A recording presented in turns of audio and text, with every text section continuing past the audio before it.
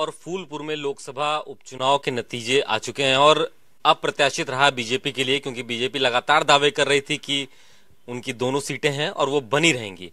हमारे साथ deputy CM Keshav Prasad Maurya ji हैं, जो कि फूलपुर से ही सांसद थे। उनके ये सीट छोड़ने के बाद ही फूलपुर में उपचुनाव हुए हैं। जिम्मेवारी थी केशव प्रसाद जी मौर्य के ऊपर। सर, कैसे देख रहे हैं इन नतीजों को? आपको लगता है कि ये बड़ा अप्रत्याशित हो गया आपके लिए? नहीं, निश्चित तौर से चुनाव के परिणाम जो आए हैं, हमको ऐसी उम्मीद नहीं थी कि इस प्रकार का परिणाम आएगा, लेकिन परिणाम आया है और जनता का फैसला आया है, उस फैसले को तो हम शीश झुका करके स्वीकार ही करते हैं। लेकिन क्या कमी रह गई है, इसकी ज़रूर समीक्षा करेंगे। संगठन के स्तर पर क्या करने की आवश्यकता है, सरकार के माध्यम से क्या करने की आवश्यकता है? मतदान जो कम हुआ, उसके कारण जो जहाँ पे हमें वोट ज़्यादा मिलना चाहिए, वहाँ के मतदाताओं में। और जो हमारा समर्थक मतदाता था, उसका मतलब यह अति विश्वास था कि निश्चित भाजपा तो जीत ही रही है, हम नहीं जाएँगे वोट डालने तो क्या फ़र्क पड़ेगा? दो तीन कारण थे, इसकी समीक्षा करेंगे और जो कमी रही है, उसको सुधार करेंगे। और 2019 के चुनाव में विजय प्राप्त करने की रणनीति बनाएँगे और माननीय नरेंद्र मोदी जी के नेतृत्व में फिर से केंद्र में सरकार बने।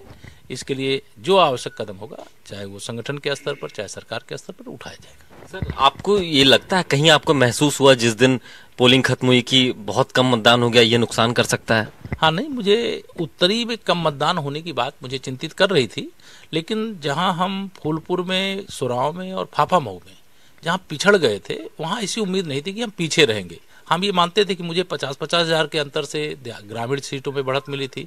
हो सकता है पच्चीस से मिले, पंद्रह से मिले, दस से मिले, या बराबर बराबर रहे और शहर की सीट से हम जो लीड करेंगे, उसके अंतर से जीतेंगे, लेकिन ये उम्मीद नहीं थी। लेकिन जनता ने जो भी जनादेश दिया है, और सपा बसपा का गठबंधन होना, और सपा के मतों का सपा में बसपा के मतों का ट्रांसफ़र होना, यह भी एक बड़ा कारण रहा है। मुझे ये भी उम्मीद नहीं थी कि बसपा का वोट सपा के लिए इस प्रकार से ट्रांसफ़र होगा, क्योंकि एक बार जब गठबंधन हुआ था, उसके बाद जो बहन मायावती जी के साथ घटनाक्रम घटित हुआ था, उसके बाद मुझे लगता था कि शायद ट्रांसफ़र नहीं होगा, लेकिन वो ट्रांसफ़र हुआ और इसके कारण से हमें पराजय का सामना करना पड़ा और जिन मतदाताओं ने, चाहे वह फूलपुर लोकसभा में, चाहे गोरखपुर लोकसभा में, भारतीय जनता पार्टी का समर्थन किया है। उन सबका हृदय से धन्यवाद। जिन कार्यकर्ताओं ने बहुत परिश्रम करके पार्टी को इतने मत दिलाने में अपनी भूमिका अदा की, उनको धन्यवाद। और हमें पराजय का सामना करना पड़ा। इसके बावजूद हम हर उस मतदाता का आभार प्रकट करेंगे जो अपने मताधिकार का प्रयोग करने का काम किया। बहुत बड़े दिल से हार स्वीकार कर रहे हैं, बहुत अच्छी बात है।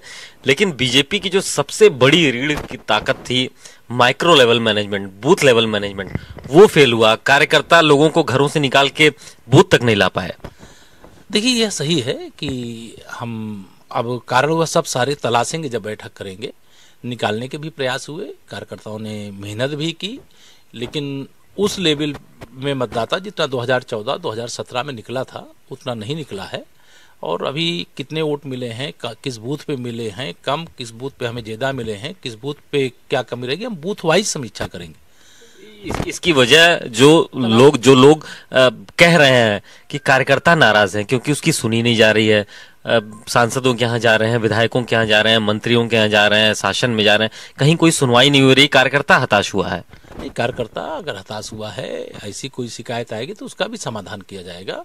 हमने कहा ना सरकार के स्तर पर संगठन के स्तर पर जनप्रतिनिधियों के स्तर पर जहाँ पर जो भी समीक्षा के आधार पर निष्कर्ष निकलेगा उसके हिसाब से कदम उठाएँगे। अब 2019 की तरफ़ सबकी नज़रें हैं कि ये दो उपचुनाव में पूरे देश भर में चर्चा का विषय है। सीएम और डिप्टी सीएम की सीट अगर बीजेपी हार रही है 2019 के चुनाव में आपको लगता है कि इसका असर होगा या फिर जो गठबंधन है, बिहार में महागठबंधन की तर्ज पर एक बड़ा कारनामा कर सकता है?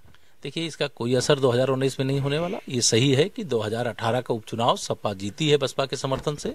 लेकिन हम जिस हिसाब से तैयारी सपा बसपा के एकजुट होकर के हमारे खिलाफ लड़ाई लड़ेंगे, उसकी हमने नहीं किया।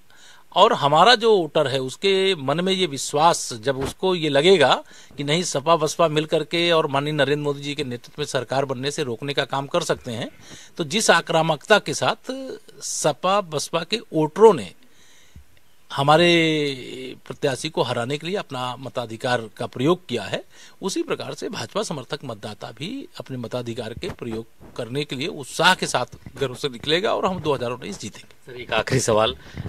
लोग ये भी चर्चा करने लगे हैं, तमाम लोगों से हमारी बात हुई, कि एक साल के शासन काल के बाद अगर ये स्थिति है, इसको नाराज़गी कहा जाए, जनता स्वीकार नहीं कर पा रही है, एक साल में जो हुआ विकास के कार्य के दावे किए जा रहे हैं, लेकिन एक साल के बाद ही जनता नाराज़ हो गई है?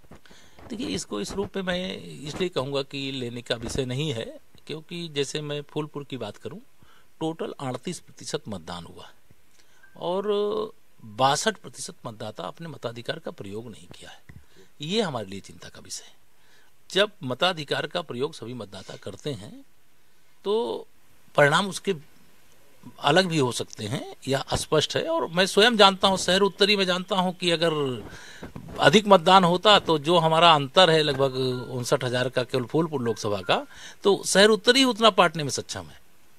तो ये जो समस्या है, कार्यकर्ता की, चाहे नाराज़गी का विषय हो, चाहे जनता का, भाजपा के लिए वोट न देने का विषय हो, या बूथ लेवल के मैनेजमेंट का विषय हो, चाहे सरकार के माध्यम से, जनप्रतिनिधियों के माध्यम से, जो समस्या त्वरित हल करने का रास्ता निकालने को सभी विषयों पे समीक्षा पार्टी करेगी। चलते एक सवाल, जब सुबह आपका एक बयान आया, हम लोग सुन रहे थे, आपको आशा थी कि नतीजे ऐसे रहेंगे आपके पक्ष में या बिल्कुल अप्रत्याशित? आप शाम को अब कह रहे हैं कि बिल्कुल उम्मीद नहीं थी ऐसी। नहीं, मुझे अभी मैं कह रहा हूँ कि मुझे नतीजे विपरीत होंगे, इसकी मुझे उम्मीद नहीं थी, लेकिन नतीजे विपरीत भी हो सकते यही है लोकतंत्र और यही है जनता का जनादेश। इसी को कहते हैं वोट, यानी मतदान। जो गोपनीय होता है, गुप्त मतदान होता है, और अब मताधिकार का प्रयोग करने वाला किसको अपना मत दिया है, इसकी सही जानकारी तो तभी मिलती है जब गिनती होती है।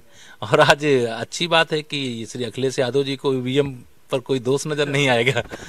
शुक्रिया हमसे बात करने के लिए। जनता ने आदेश दे दिया है। डिप्टी सीएम हमारे साथ थे, उन्होंने स्वीकार किया हार को अपनी और कहा कि 2019 के चुनाव में इसके खास फ़र्क नहीं हुए। जो कमियाँ हैं, उनको आगे दूर की जाएँगी। कैमरामैन धीरज के साथ अभिषेक पांडे, भारत समाचार, लखनऊ।